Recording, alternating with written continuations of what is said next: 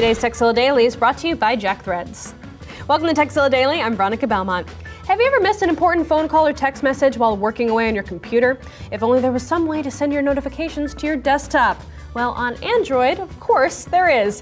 Nirmal.tv points out a Chrome extension and Android app combo with one purpose route all of your phone notifications to your browser. To get started, grab Android desktop notifications for Chrome in the Web Store and desktop notifications in the Play Store. Once installed, enable the service in the accessibility settings and then input the pairing code in the browser extension. Now create a test notification to try everything out. If everything went well, you should see the notification pop up right on your desktop. Any email, SMS, missed call, or more will now display whenever you have Chrome open. Note that your notifications are being sent through the developer server, so if you're feeling especially paranoid, you might want to stay away from this particular tip.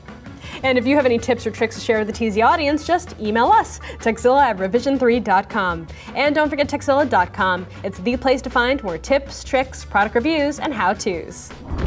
You want to start looking good? Go to Jack Threads. They make it insanely easy to pick up great brands like Vans, Mosley Tribes, and Ben Sherman. And the best part? The prices are up to 80% off, and there's always going to be new stuff.